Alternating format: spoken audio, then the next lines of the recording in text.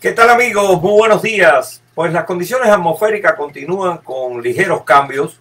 Hoy amaneció un poco más frío aquí en la zona metropolitana de Guadalajara, entre los 10 y los 12 grados la temperatura en horas muy tempranas del amanecer.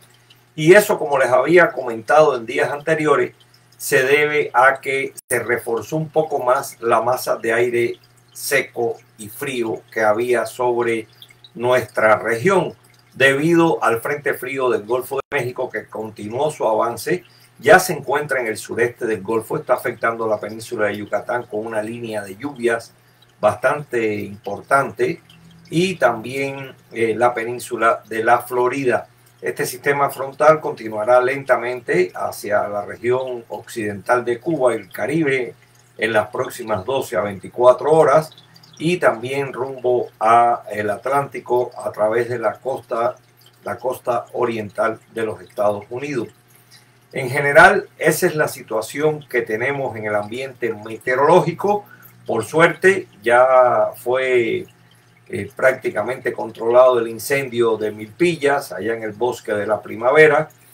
Y eh, si no hay otro incendio, pues las condiciones van a tornarse más favorables aquí en la zona metropolitana de Guadalajara en cuanto a la calidad del aire. Les voy a presentar la imagen del satélite para que ustedes tengan una idea de todo lo que les acabo de comentar. Aquí se encuentra el, el frente frío. Como ven, está afectando la península de Yucatán esta línea de lluvias, tormentas en esta zona.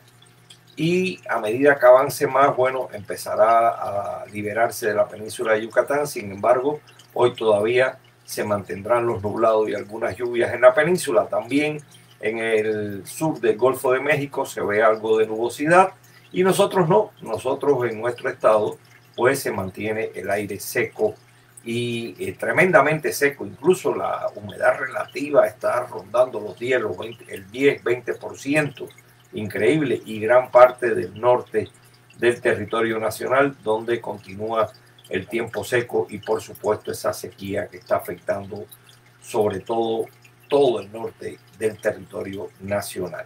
O sea, son condiciones que van a seguir, no va a haber grandes cambios y esperamos que aquí se mantenga la calidad del aire más favorable después de lo sucedido el día de ayer. Vamos a ver aquí algunos amigos que se han conectado. Vamos a ver aquí. Aquí tengo a Arturo Padilla, saludos. Dice, ¿cuándo lloverá en Guadalajara? Por el momento no, por el momento no se esperan lluvias, sigue el tiempo seco. O sea que no esperes lluvia muy pronto, por lo menos todo lo que resta de esta semana. Andrea Aguirre, saludos. Eh, David Angles, mira, bajó mucho la temperatura en Ciudad Guzmán, David, 7 grados con respecto al día anterior y la máxima fue de 28. Eh, la calidad del aire 55 y meca. Ustedes, por suerte, no los afectó este problema del incendio. José Reynoso, saludo de San Diego.